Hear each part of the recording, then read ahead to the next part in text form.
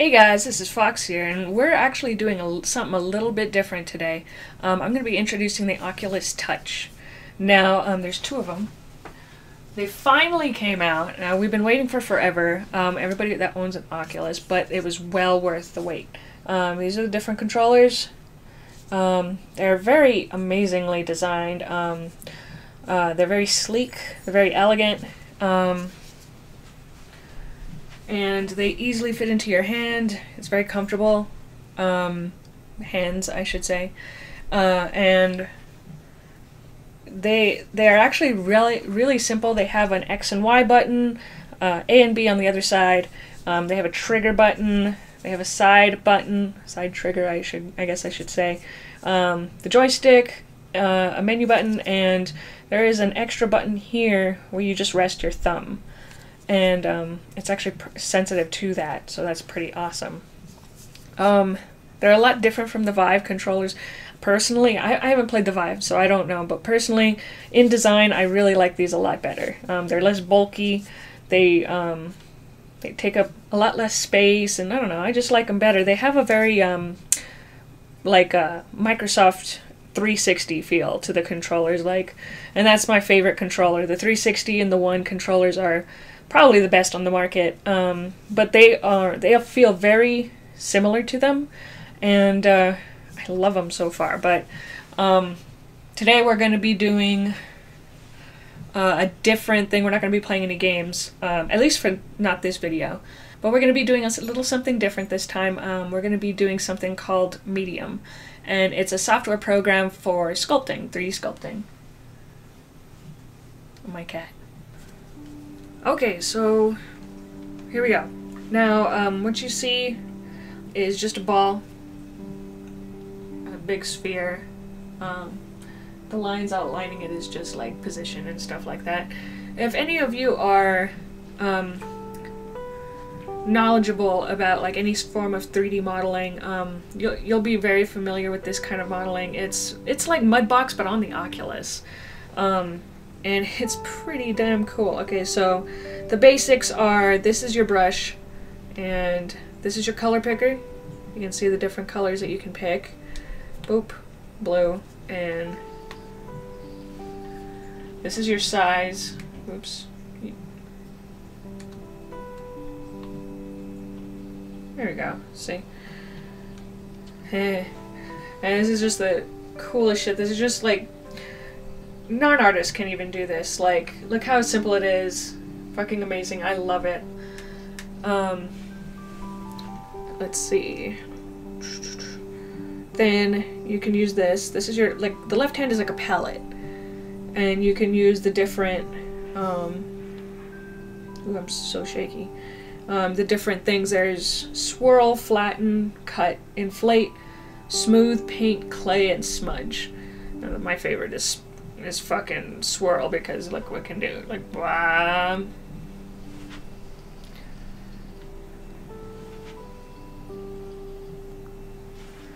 And that's just with the trigger button and you can move it.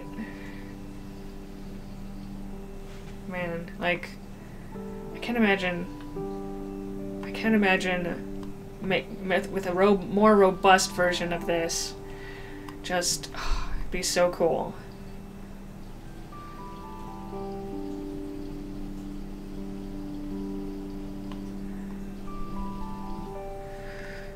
Yeah, and um, you can you can hold it with both hands and make it bigger.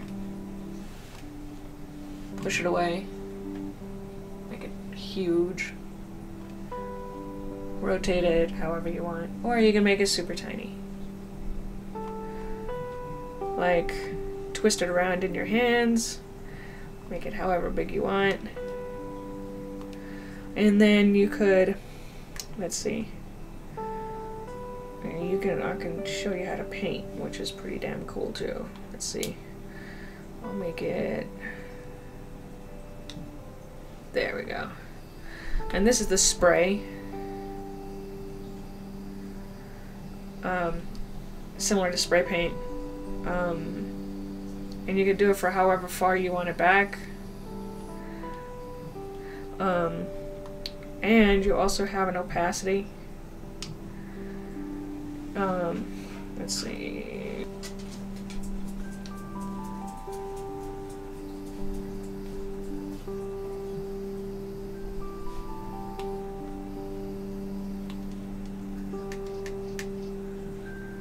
And uh, yeah, like, and if you don't like what it what it came out to be, like say I'm like blah blah blah blah blah blah blah, you can simply just on the left stick you just fucking undo it, and it's that simple. Like you didn't fuck it up permanently. You don't have to try and cover it up like with a physical medium or anything.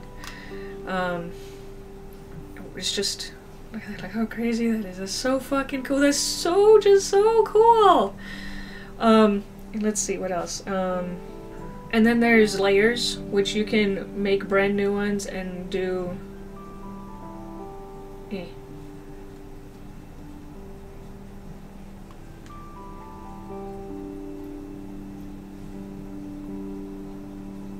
There we go, there's a second layer.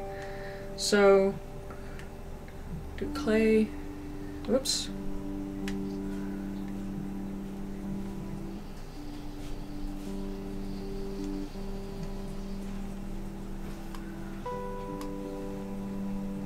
Okay, and I'm not entirely, I'm still fidgeting with it.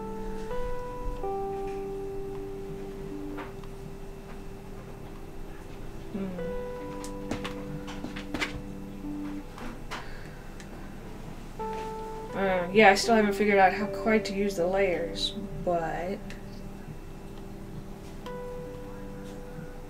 But they're there, but they're fucking there, it's so fucking cool. And then, oh yeah, and then you could fucking adjust the lighting. Whoa. I changed the color of it. And look, dynamic fucking lighting and everything, like... You can change it, put it wherever you want. And, uh, let's see. Let's see. Rotate. And, man, look at this. Like, there's... You can, you can set it to the sculpt. You can set a color to it. Wow, that's cool. So that menu, oh, hello. That menu changes. That menu changes depending on what you are in. Let's see.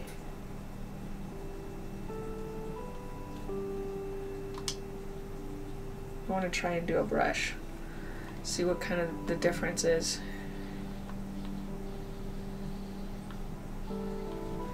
Let me try another color. Let's try green. Such green. And let's up the opacity. And see, like up here you can't fucking color because it's not a spray. So you have to like get right on top of it. Oh shit, and it feels like you run out of paint if you don't replenish it. Wow, that's cool.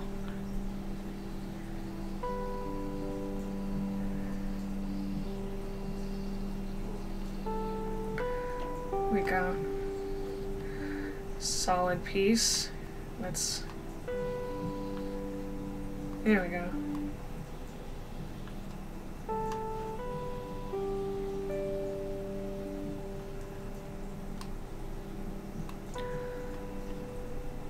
Alright, now let's see.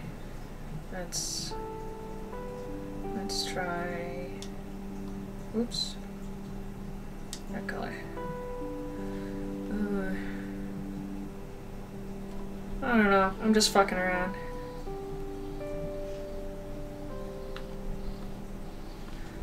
Oops, too much. I need to adjust the opacity. Yeah, oh my god, just, is just so fucking cool. You have no idea. I just. As an artist, this feels like. like new tech, like next generation level of shit. Like this is this is the future for fucking 3D stuff, even painting. Like if they can if they can map painting and this kind of stuff to a tablet and like oh my god. Like there is another program that uh, is called Quill, and it's supposedly like 2D painting and stuff like that. Um, but it's in a 3D space, so you're drawing with lines essentially. But there's really no opacity. Um, opacity. There really is no opacity changes. You can't like with this. You can blend things in with going it over and over again with different colors or different um, saturations or shit or shades and shit. Um, and that's really a shame because that's part of what painting actually is. So that is really just working with. Um, it's almost like working with vector, and I I don't know. It wasn't very intuitive to me. But that's just me. I don't know. Some people might really like it. There was some amazing fucking masterpieces that came out of it. Let me tell you. Let's see.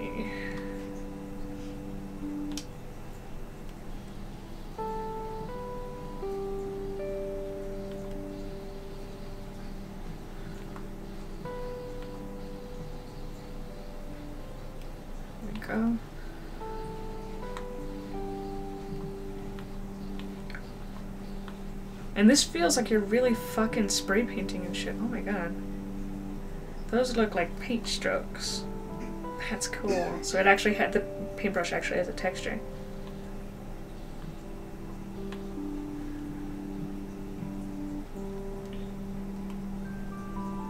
Wow.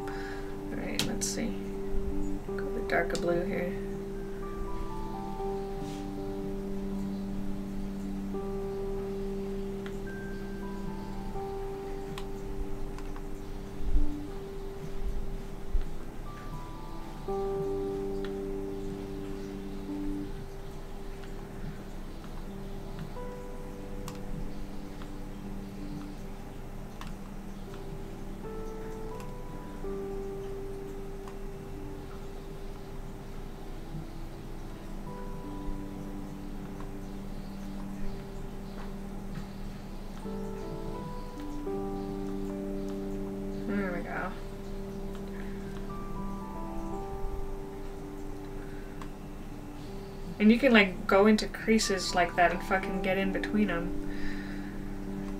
It's so awesome. Like you have no idea, this just gave me like such a hard on for art. Just, oh my god, look at that. look how cool that shit is. Look how cool! Oh my god. Uh, yeah, just, it, it just has so much, so much to it. Let me put some red in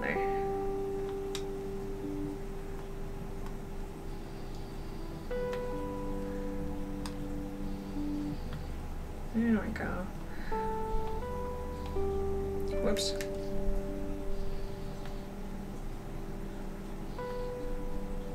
Nah. Needs a smaller brush, that's what it needs.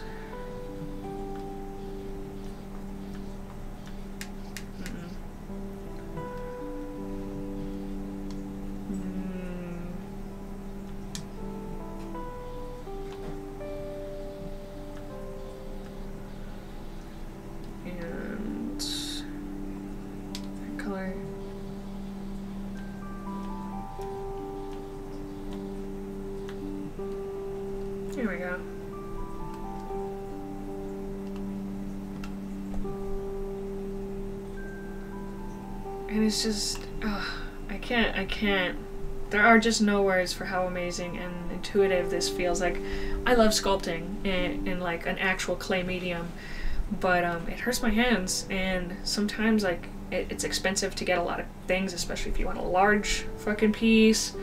Um, and like it just costs money for the tools, and it's, I mean, obviously it's cheaper than this, but I don't know. It's just something about this without having an, like a physical weight to it, but like in visually it has it, and you have this endless palette. Like this is an amazing palette. Like you cannot get that much paint in real life, and I mean you, would have to mix it and shit. It's just. I, I prefer digital personally, but uh. But wow, this just completes me. This completes me. You don't know how much it does. Let's see. Mm. about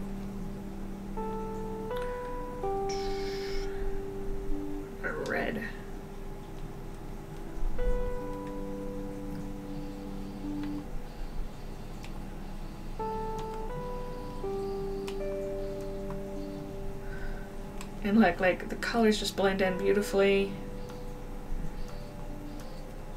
And you don't have to fucking work too hard to make them look just make them look awesome. Just oh my god.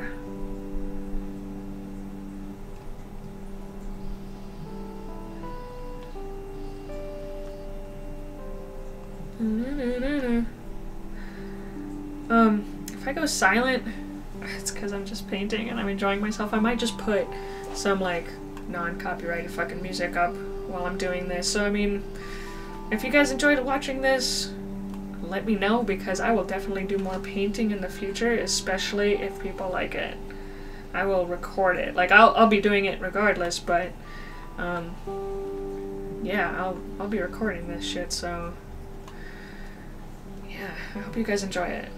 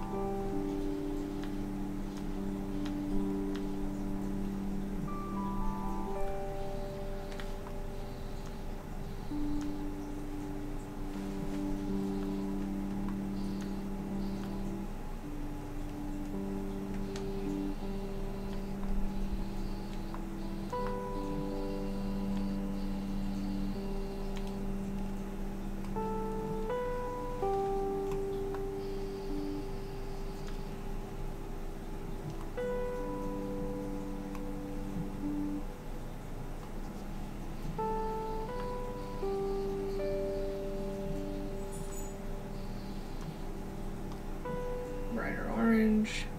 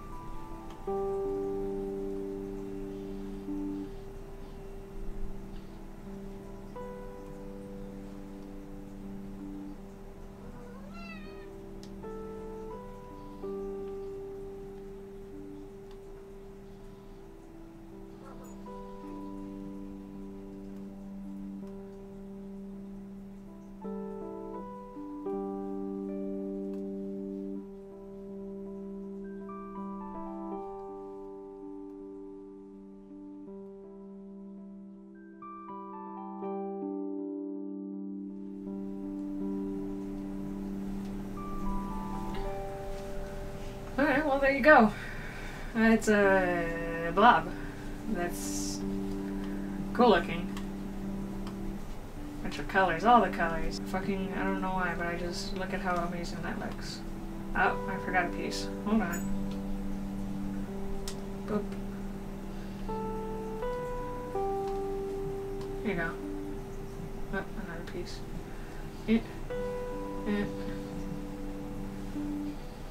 There we go. Yep, that's it. I think there's a cat next to me. I'm trying to figure out what the fuck I'm doing. But yeah. So, this is medium. Uh, you can do whatever the fuck you want in it. Sculpt and add layers, I'm sure. Hey, stop that. Whatever you're doing. Uh, so yeah, this is this is medium, and uh, it's pretty damn cool. And I turned around. I was almost off camera, but so that was medium. Um, I hope hope you guys weren't too disappointed by the, the lack of game here, but uh, yeah. Uh, it was it's an amazing sculpting program. It's very intuitive. Um, I think it's honestly it's more intuitive than uh, fucking um, like Mudbox. Honestly, like it was it felt more like Photoshop to me. Um, oh god, my my legs though they hurt. Um, yeah, they it, it felt like like a like a hybrid between Photoshop and and Mudbox. Like Mudbox is kind of hard to operate if you don't know what you're doing in it. Um, um, they pretty much just took the sculpting about it and and made it like in Photoshop. Like that's what it feels like when Photoshop's my bay. So that's that's that's medium. I hope you guys liked it, and um, go check out my other videos. I might be doing some more Oculus videos in the meantime.